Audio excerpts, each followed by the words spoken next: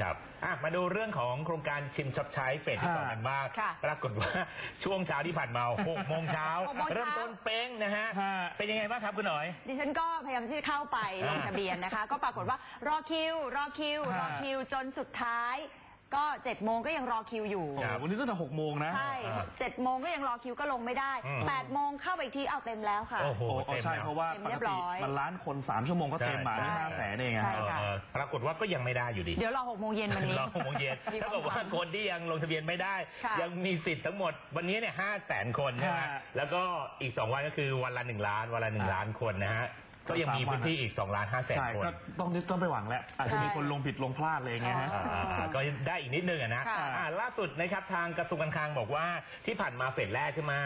ก่อนหน้านี้ห้างที่ทำโปรโมชั่นถือว่าอ่าผิดกฎใช่ไหมอืมแต่ล่าสุดบอกว่าถ้าส่วนกระเป๋าที่สองเนี่ยค่ะสามารถที่จะทำได้นะ อ๋อ แต่ต้องมีข้อกำหนดบางอย่างเพิ่มเติมนะครับ ฮะ คุณลวรนแสงสนิทนะครับสำอ่าผู้ในวยการสำนักงานเศรษฐกิจการคลังหรือว่าสสคนะครับก็พูดถึงการเปิดกว้างครั้งนี้ครับให้ภาคเอกชนสามารถจัดโปรโมชั่นได้ อย่างเช่นออกคูปองออกบัตรกำนันนะครับเพื่อกระตุ้นให้คนควักเงินออกมาใช้จ่ายกัน โดยเฉพาะในส่วนของกระเป๋าที่ 2 หรือว่า wallet ที่2เนี่ยฮะที่จะมีการคืนเงินนะครับถึง 20%นะครับ รวมทั้งหมดเนี่ย สูงสุด 8,500 บาทนะครับ ในวงเงินใช้จ่ายไม่เกิน 50,000 บาท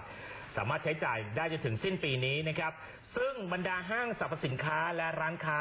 ที่จะจัดโปรโมชั่นอย่างที่บอกนี้ จะมีข้อกำหนดด้วยกัน 3 ข้อด้วยกัน ค่ะ ข้อแรกคือต้องใช้ภายในวันนั้นให้หมดนะฮะ ข้อที่ 2 ก็คือต้องใช้ภายในสาขาที่จัดโปรโมชั่นเท่านั้น จะไปใช้สาขาอื่นๆ เพิ่มเติมอ่า ไม่ได้เลยนะฮะ และข้อที่ 3 ก็คือแลกคืนเป็นเงินสดไม่ได้นะครับ ซึ่งถือว่า ไม่ผิดวัตถุประสงค์ของโครงการ โดยที่กำหนดแบบนี้ก็เพราะว่ามองว่าประชาชนที่เดินทางมาต้องการซื้อสินค้าในร้านค้าหรือว่าห้างสรรพสินค้าอยู่แล้ว การปีการที่มีโปรโมชั่นจูงใจเนี่ยก็อาจจะทำให้คนเนี่ยอยากที่จะซื้อของมากยิ่งขึ้นนะครับ ฮะ ขณะเดียวกันครับชิมช็อปใช้เฟสที่ 2 ก็จะเปิดให้บรรดาร้านค้า ผู้ประกอบการ โรงแรมที่พักอะไรต่างๆเนี่ยที่ยังไม่ได้เข้าร่วมโครงการนะครับสามารถไปลงทะเบียนนะครับได้จนถึง